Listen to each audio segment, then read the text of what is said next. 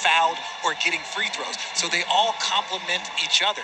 If you're not shooting the ball well, it's a little bit harder to get that spacing to get to the free throw line and force teams to help. Back door, Hyland missed the shot. Laker ball inside two minutes to go here in the third. Patrick Beverley, just four points, one for three for the floor. Nunn penetrates, got stripped. Now Beverley up top for three. Man, it's been a struggle for him. Three for 16 on the season from three-point land.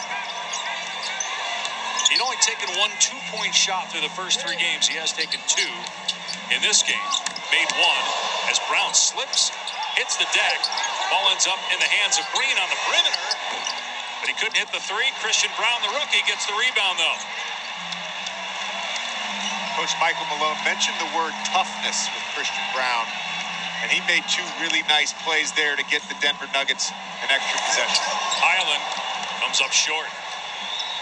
Minute to go here in the third. Lakers trying to stay within striking distance. Down 16.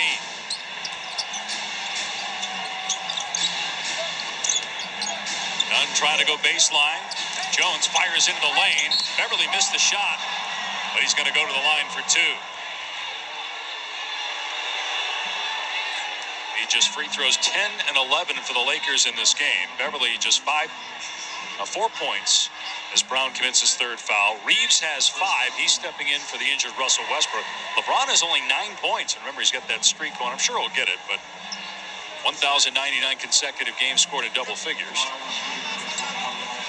You say that as he checks back in. He's going to get it. Just question is he get it now or get it early in the fourth.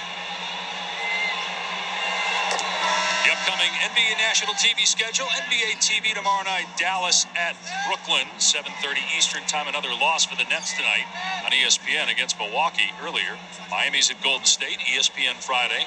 Washington, Indiana. New Orleans at Phoenix. Brooklyn been a surprise in how poorly it's played early on, or is this what you thought? It would take some time for Ben Simmons to get back after missing last season and all the offseason issues there with Kevin Durant, Kyrie Irving, and the like.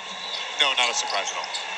No, I, I, I agree. You take a year off, you know, have an injury, you're a new team, new coach, new situation. It's going to take time. It's just so many things are already highlighted.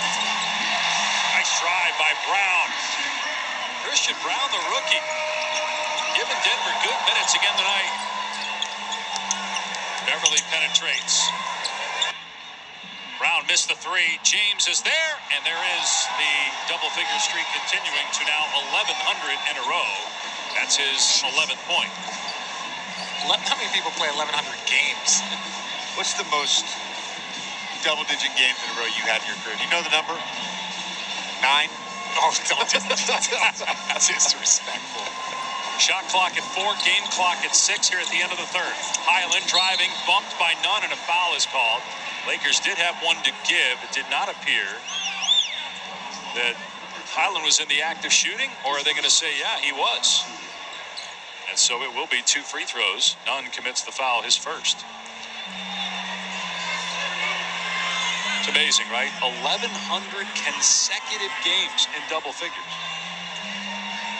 And there was different times in his career where we didn't think of LeBron James as a scorer.